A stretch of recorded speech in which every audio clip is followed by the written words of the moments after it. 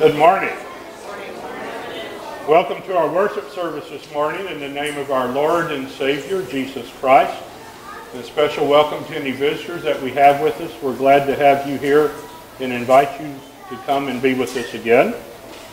We have welcome those of you who join us for worship out in the parking lot. We're glad to have you join us as well. Just a reminder, all of our services are video recorded and are available on the church website when they're put up uh, during the week. We're excited to have the blessing of the backpacks as we look forward to the start of the school year this week. And uh, so we rejoice with all those who will be uh, starting that educational effort this week, and we will keep them in prayers as well.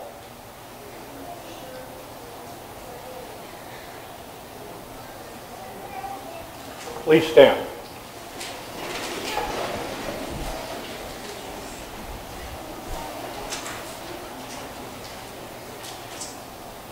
In the name of the Father, and of the Son, and of the Holy Spirit. Amen. Almighty God, to whom all hearts are open, all desires known, and from whom no secrets are hid, cleanse the thoughts of our hearts by the inspiration of your Holy Spirit, that we may perfectly love you and worthily magnify your holy name through Jesus Christ our Lord. Amen. If we say we have no sin, we deceive ourselves, and the truth is not in us. But if we confess our sins, God, who is faithful and just, will forgive our sins and cleanse us from all unrighteousness.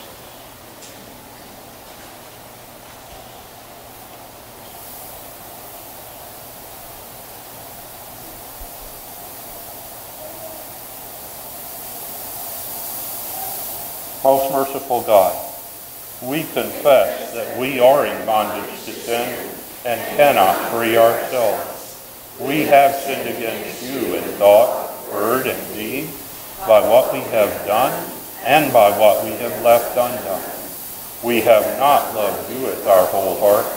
We have not loved our neighbors as ourselves.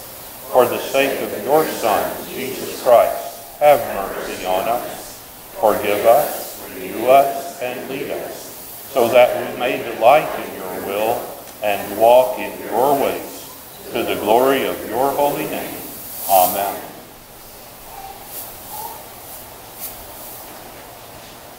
Almighty God, in his mercy, has given his Son to die for us, and for his sake forgives us all our sins. As a called and ordained minister of the Church of Christ, and by his authority, I therefore declare to you the entire forgiveness of all your sins in the name of the Father and of the Son and of the Holy Spirit. Amen. We sing the hymn.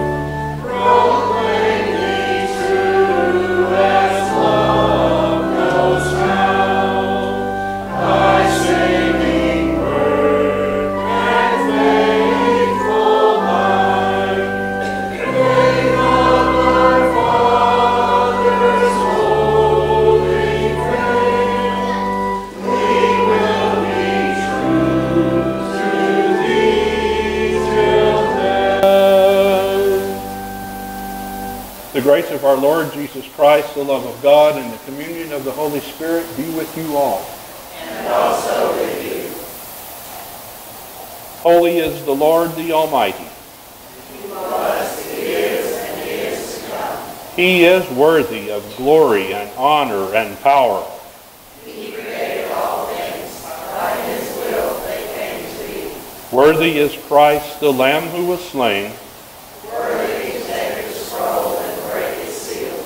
By his blood he purchased for God tongue, Christ made of them a kingdom, and priests to serve our God. and they shall reign on earth forever. Amen. Let us pray. O God, judge eternal, you love justice and hate oppression, and you call us to share your zeal for truth. Give us courage to take our stand with all victims of bloodshed and greed, and following your servants and prophets, to look to the pioneer and perfecter of our faith, your Son, Jesus Christ, our Savior and Lord. Amen.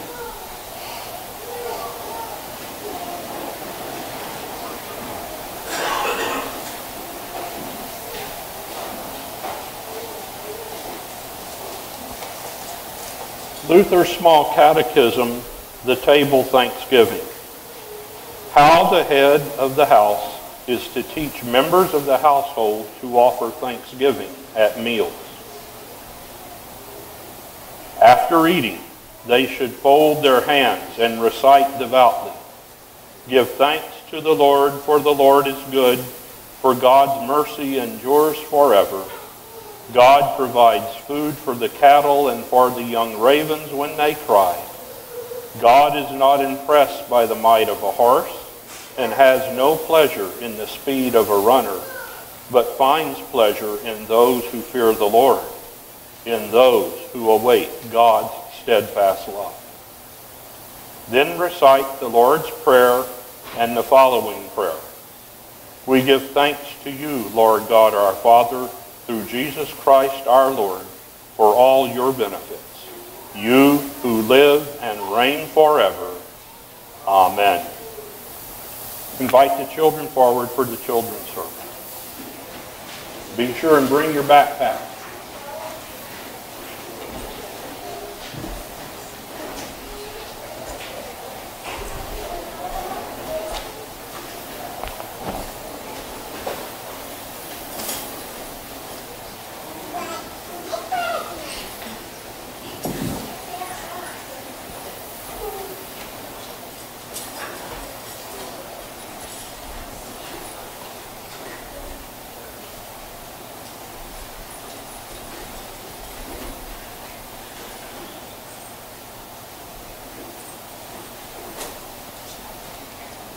Come on and let them in. There you go.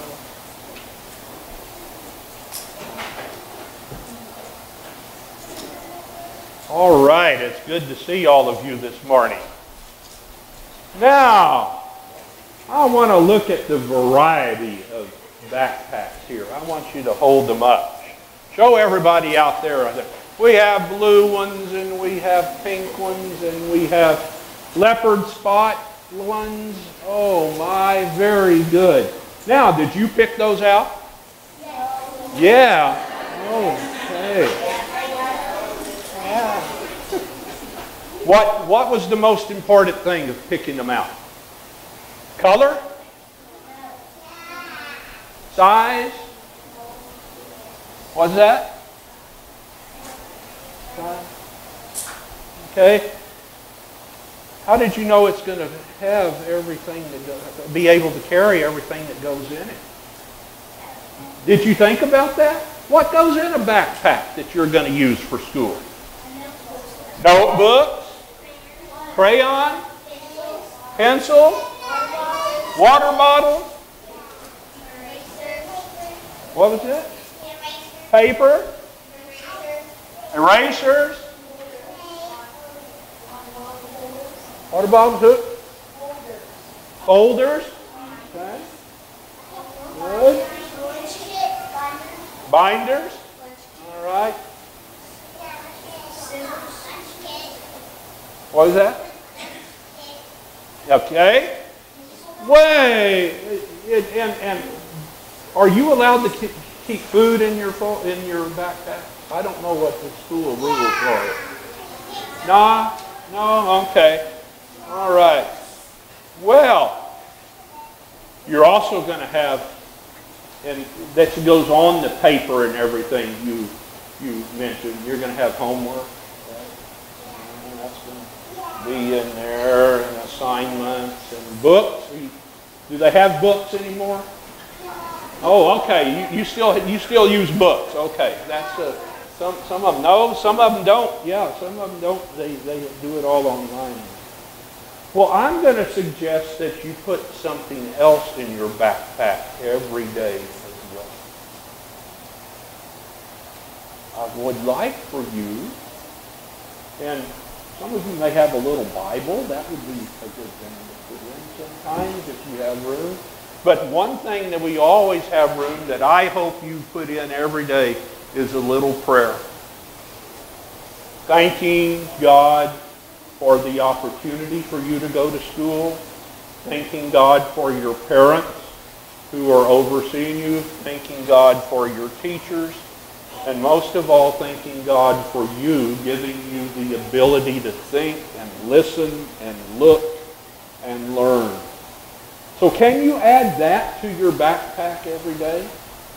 We're going to start today by doing a blessing uh, of your backpack. We're going to start off with a prayer for all of you in your backpacks. So what I want you to do is I want you to line up over here and we're going to do it where I'm going to put on one hand with the blessing and you're going to put a hand on the backpack that's in front of you so that that blessing goes all the way down the line. Okay? And then after that, don't go back to the pew right away because we're going to I'm going to give you then some of these things to put on so that you remind, to remind you of God's blessings. It says on one side, this backpack is filled with God's blessings. And on the other side it says, this backpack has been blessed by St. Paul Lutheran Church of Rehburg, who loves, prays for, and supports this student. And it's a blessed backpack. So I want you out there to also fill up their backpacks today and every day with a prayer for their safety, for their learning, thanks for their families, their parents, their teachers, the administrators, all that are involved in their education, and most of all, for them that God is giving them this chance to learn and grow. Okay? So after we do the blessing, make sure and get a little uh, tag for your backpack. Okay? And congregation, you promise to do that? Pray for them every day? Yes. Oh, you can do better than that, yes? Yes. Good. All right. Let's line up then, and so we have our blessing.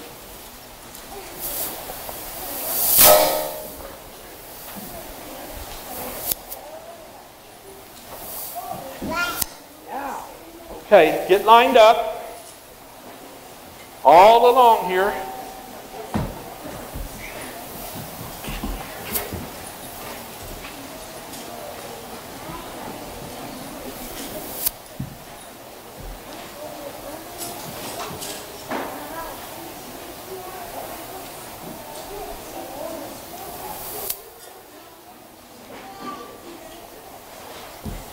Okay, and I'm going to do the blessing from this end. So come around here, Henry, please. Everybody, put a hand on the backpack next to you. Okay? Onto your left. Put your left hand onto the backpack of, of the person beside you. There you go. Okay, let us pray. Gracious God, we lift to you today these students. They stand here ready to receive your blessings and they commit themselves to study and learning in the school year ahead. We ask your blessing on each of them. Further, we ask your blessing on these backpacks. They will hold the schoolwork of each student and will be carried from home to school and back again. As these students carry these backpacks, may they be reminded of the love and care of this congregation that surrounds them each school day. We pray as well for the teachers and administrators in our schools. May they also be sustained by your blessing. May they be reminded that this congregation embraces their call to teaching and learning and surrounds them with love and care as well. We pray in the name of Jesus, who we seek to follow day by day. Amen. Okay, let's get your tags, and then you can go back to your seat and have a very blessed school year.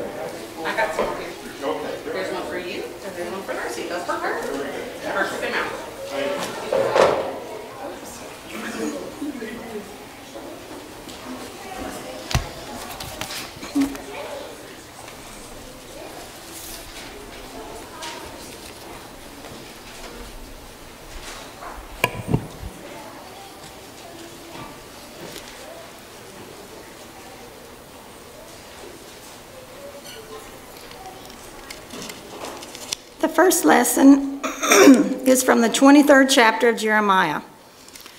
Am I a God nearby, says the Lord, and not a God far off? Who can hide in secret places so that I cannot see them, says the Lord? Do I not feel heaven and earth, says the Lord? I have heard what the prophets have said who prophesy lies in my name, saying, I have dreamed, I have dreamed. How long? Will the hearts of the prophets ever turn back, those who prophesy lies, who prophesy the deceit of their own heart? They plan to make my people forget my name by their dreams that they tell one another, just as their ancestors forgot my name for Baal. Let the prophet who has a dream tell the dream, but let the one who has my word speak my word faithfully. What has a straw in common with wheat? says the Lord. Is it not my word like fire? says the Lord. And like a hammer that breaks a rock in pieces. Here ends the reading. we will read Psalm 82 responsively by verse. God takes his stand in the council of heaven. He gives judgment in the midst of the gods. How long will you just unjustly and show favor to the wicked? Save the weak and the orphan, defend the humble and needy, rescue the weak and the poor, deliver them from the power of the wicked. They do not know, neither do they understand. They go about in darkness. All the foundations of the earth are shaken. Now I say to you, you are God's, and all of you children of the Most High. Nevertheless, you shall die like mortals and fall like any prince. Rise, O God, and fool the earth, for you shall take all nations for your own. The second lesson is from the 11th and 12th chapters of Hebrews. By faith, the people passed through the Red Sea as if it were dry land. But when the Egyptians attempted to do so, they were drowned.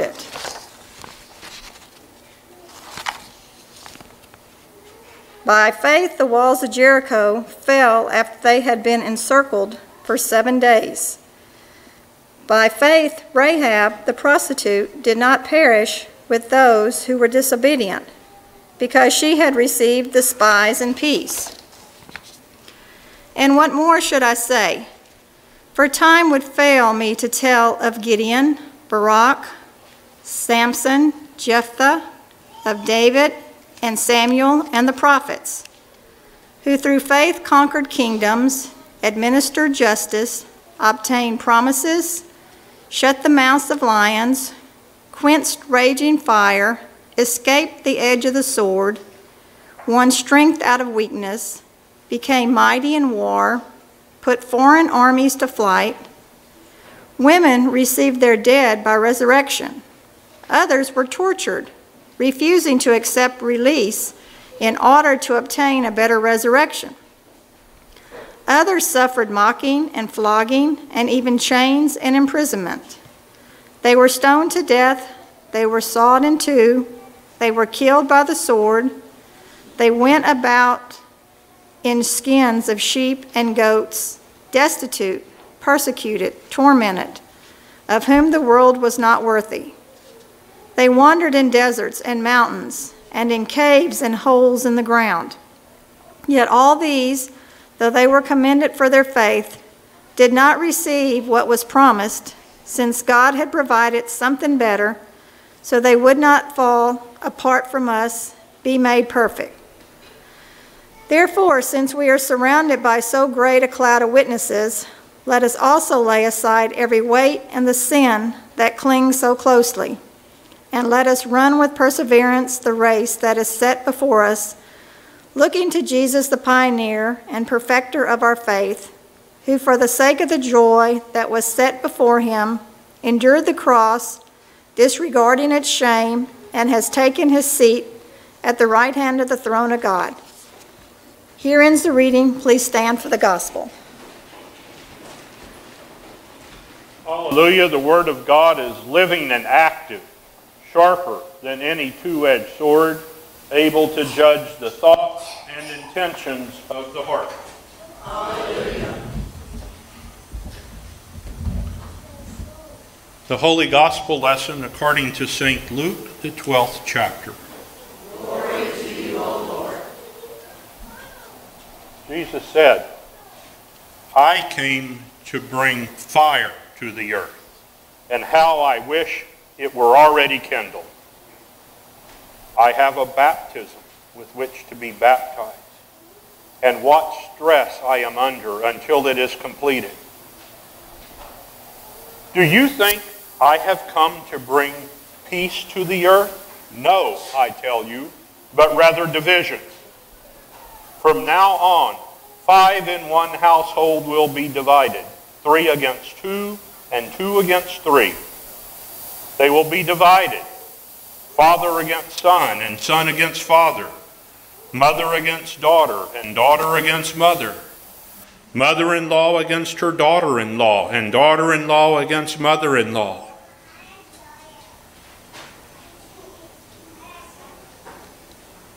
He also said to the crowds, When you see a cloud rising in the west, you immediately say, It is going to rain. And so it happens. And when you see the south wind blowing, you say, There will be scorching heat. And it happens. You hypocrites, you know how to interpret the appearance of earth and sky, but why do you not know how to interpret the present time? This is the gospel of the Lord.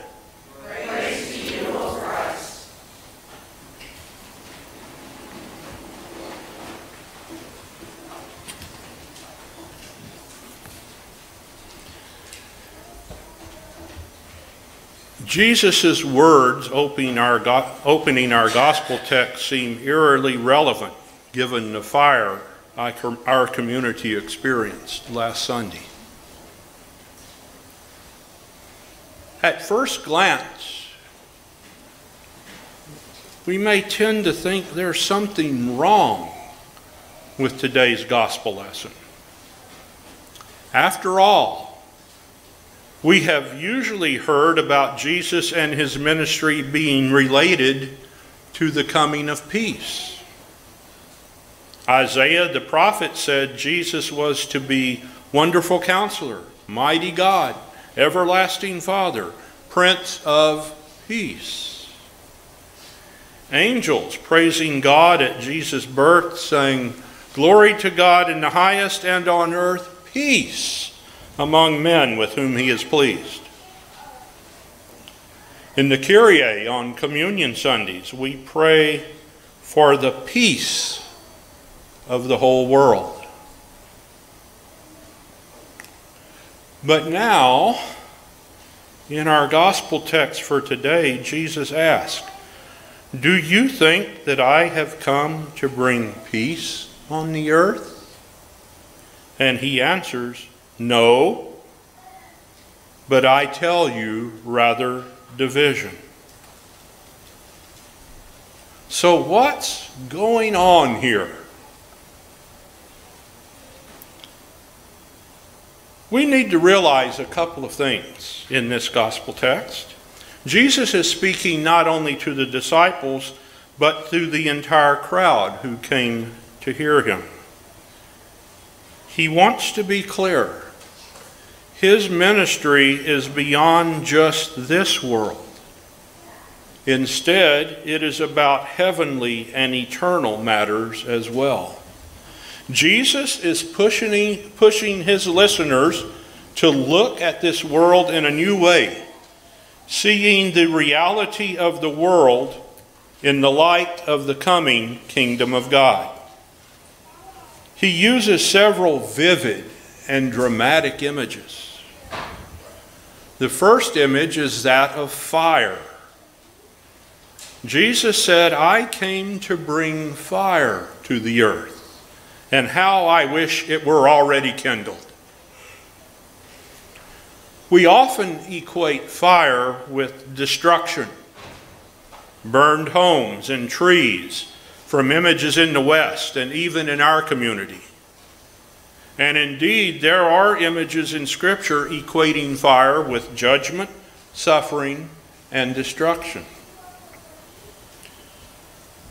But there are even more instances equating fire with other images. One such image is fire as refining and purifying. Several of the prophets speak of God refining and purifying the people of Israel and Judah with the fire of exile. This image is of God burning away the effects of sin and rebellion in order to make the people more clean and pure. Just as fire burns away the impurities in gold and silver, leaving only the purified precious metal. Another image of fire is as energy and God's presence. There are several examples in Scripture. Moses encountered God's presence and call in the burning bush. God led the Israelites out of Egypt by cloud at day and by pillar of fire at night. Note that God was present and was leading them. When Moses went up Mount Sinai to receive the Ten Commandments, smoke and fire enveloped the mountain. God was present. John the Baptist said Jesus would baptize with the Holy Spirit and with fire. The disciples who met Jesus on the Emmaus Road on the day of resurrection said, after they recognized Jesus, Did not our hearts burn within us as he talked with us on the road?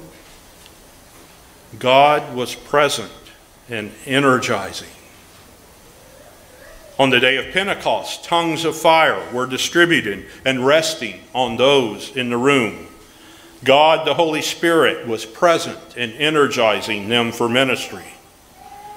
It is these images of fire, of refining and purifying, and of the reality of the energy and presence and life of God to which Jesus is alluding. Jesus says he wishes this fire were already kindled, already spreading, Someone said Jesus was ready to light the match. Furthermore, for Jesus, this fire is the function of his ministry. His baptism, he calls it in verse 50. And he says he is under tremendous stress until the baptism of his death and resurrection is accomplished. Talk about stress. To be willing to take on the sin of the world in order to purify and bring life to sinners? That is quite the task. The second image in the text is the deep division Jesus brings. This division is based on the relationship people have to Jesus as their Lord and Savior. You see, commitment to Jesus divides. Jesus describes this division even within households as 3 verses 2, 2 verses 3. Father against son, son against father, mother against daughter, daughter against mother, and one that's not so far fetched mother in law against daughter in law, and daughter in law against mother in law. These divisions are serious and they hurt. particularly within a family. Jesus is touching on the pain and stress that, for believers, accompanies the mystery of unbelief. Jesus has died and risen from death, destroying the power of sin and death, so that we can know eternal life simply by believing and living with Jesus as our Lord and Savior. And yet, in spite of what Jesus has done to save us, some people say, I don't want it. I don't need it. I don't have time for it. I have more important things to do.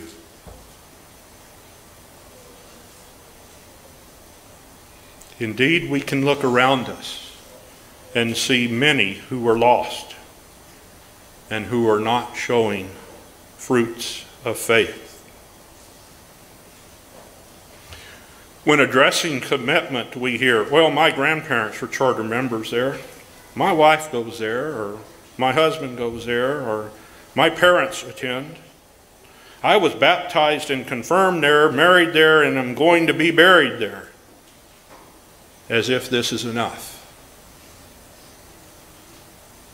Even though Jesus has opened the way to eternal life, they are missing it because they're not living in Christ. And all too often we're tempted to shrug our shoulders and say, What can we do? But we're called to love them enough so that they are not left to continue their path apart from the life God wills for them in Jesus Christ. We are called to work to bring them back to a living relationship with Jesus. A wise old pastor once told me that sooner or later, something is going to happen in a person's life that will cause them to re examine their relationship with Jesus. And he said that when this happens, we as the church are to be ready to help guide them back onto the path to life in Christ. This then brings us to the third point of the gospel lesson. For nine seasons, Seinfeld was the top rated comedy on the air. It dominated the Thursday night television lineup. But the show almost didn't make it to the airwaves in the first place. The first few episodes didn't test well with audiences. Audience members had a number of discouraging things to say about it. The character of Jerry received a lukewarm reaction, and was considered by the test audiences to be dense and naive. The character of George was labeled a, limp, a wimp. The whole thing was rated as average in humor. How many times through history have the prognosticators been wrong? The telephone has too many shortcomings to be seriously considered as a means of communication. The device is inherently of no value to us. Thus read a Western Union internal memo in 1876. The wireless music box has no imaginable commercial value. Who would pay for a message sent to nobody in particular? David Sarnoff's associates, in response to his urgings for investment in the radio in, 19, in the 1920s. I'm just glad it'll be Clark Gable who's falling on his face and not Gary Cooper. Gary Cooper said this about his decision not to take the leading role in Gone with the Wind. We don't like their sound, and guitar music is on the way out. So wrote Decca Recording Company, rejecting the Beatles in 1962. Drill for oil? You mean drill into the ground and try to find oil? You're crazy. That's how potential drillers responded to Edwin L. Drake in 1859. The bomb will never go off. I speak as an expert in explosives, said Admiral William Leahy of the U.S. Atomic Bomb Project. Man will never reach the moon regardless of all future scientific advances said Dr. Lee DeForest, inventor of the vacuum tube and the father of television. Someone has said that hindsight is 2020, and it is true. Time after time, people have been wrong, particularly about the future. Jesus addresses the crowd in the gospel lesson. They were evidently very good weathermen. Jesus said that they could tell by the clouds and wind when it was going to rain or be hot and dry. But they were not any better at reading the urgency of the times than the prognostication of those in the illustration. We, as disciples of Jesus, know the urgency of these times. Theologians have raised up the idea that our times are more like the times of the early church than the times of an established church. We cannot readily assume people we meet are Christians, as we once often were able to assume, even if their names are on a church membership roll. We cannot assume that they have heard of Jesus in a way that he is Lord and that to confess and follow him makes a difference and demands a new life in response to his death and resurrection. We are to be about God's mission that reintroduces Jesus or introduces him to some for the first time. And this is the point of our calling. In God's mission, we are called to be the fire of Jesus upon the earth. We are called to be that refining and purifying fire of Jesus, calling people to live in God's grace and holiness. We are called to be that fire of God's presence in people's lives, bringing the energy and warmth of God's love and life. We are, to be, we are called to be on fire for Jesus. So that commitment to Him in life is the basis of our lives, individually and as a congregation. and that that fire energizes us to do ministry in Jesus' name as we are called. We are called to be on fire for Jesus so that we look for and hurt over those not living in Jesus and love them enough to call them back and help them return to a saving relationship with Him.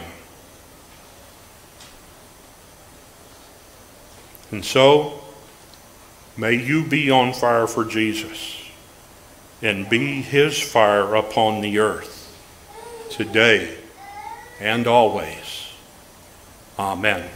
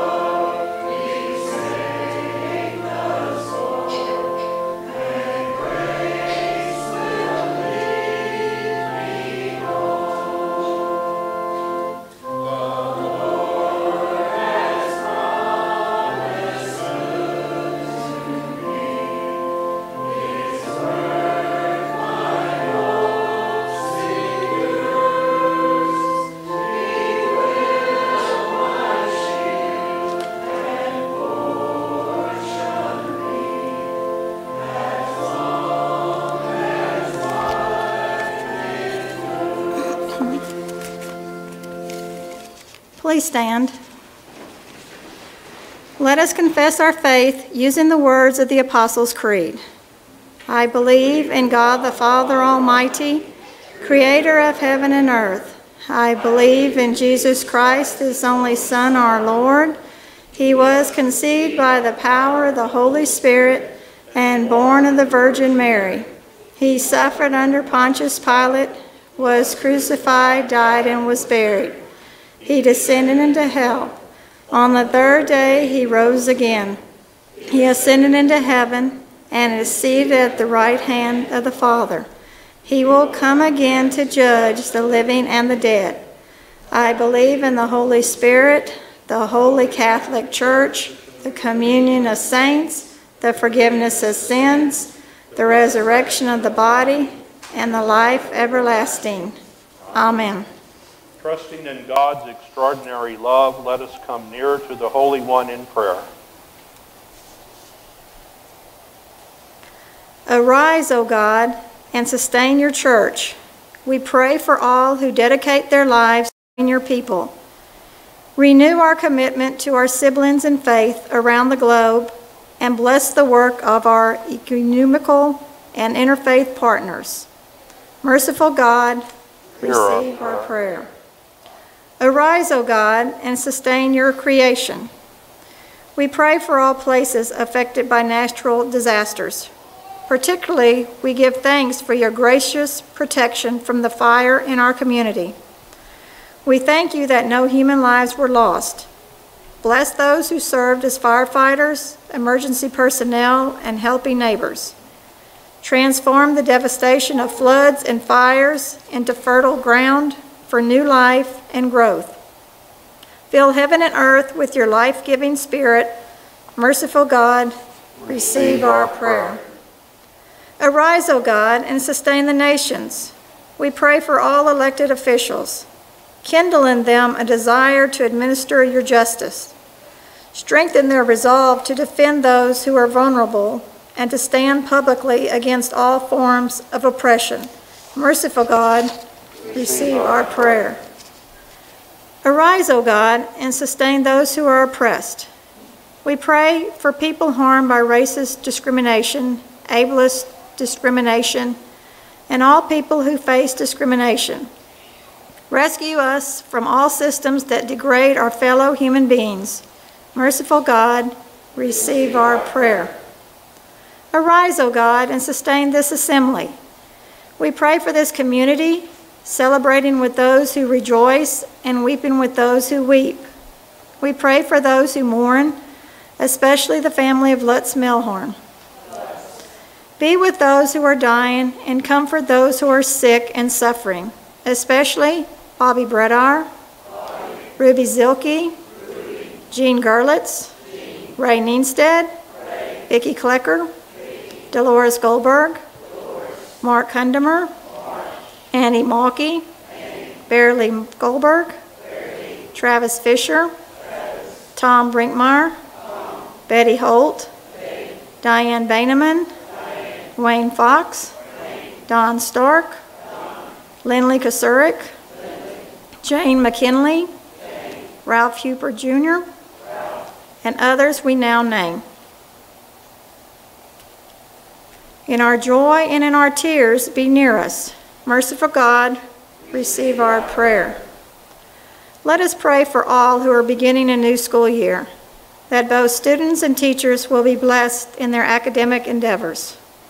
We ask that you would protect these, both children and adults, watch over them and keep them safe as they travel to and from school and throughout the school day.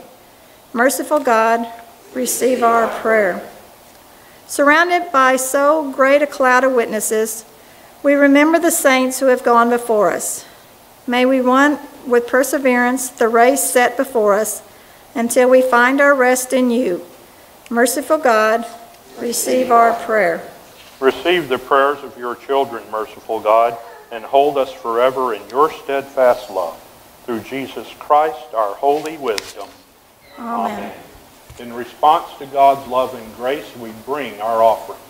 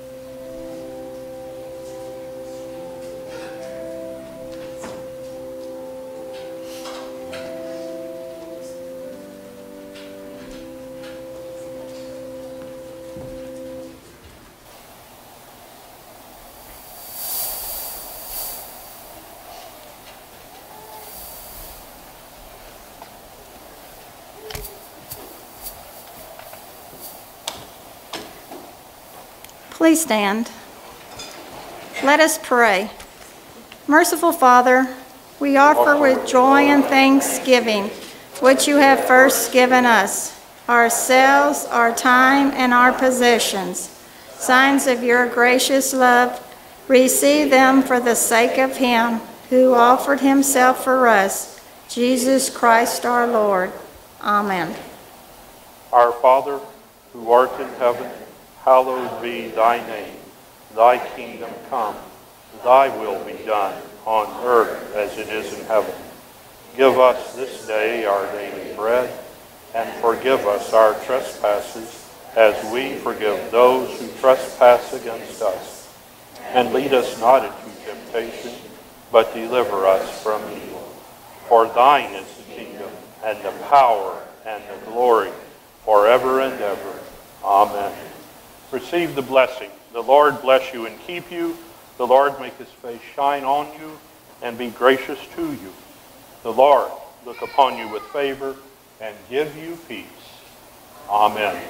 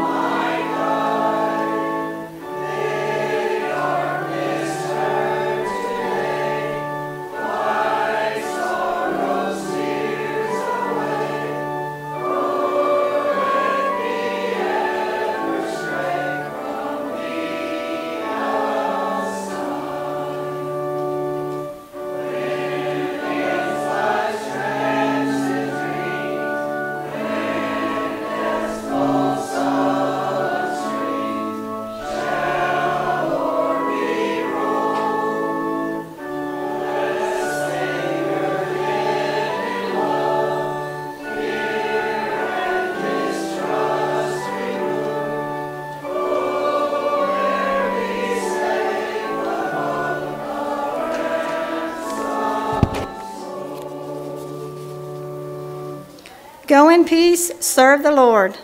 Thanks be to God.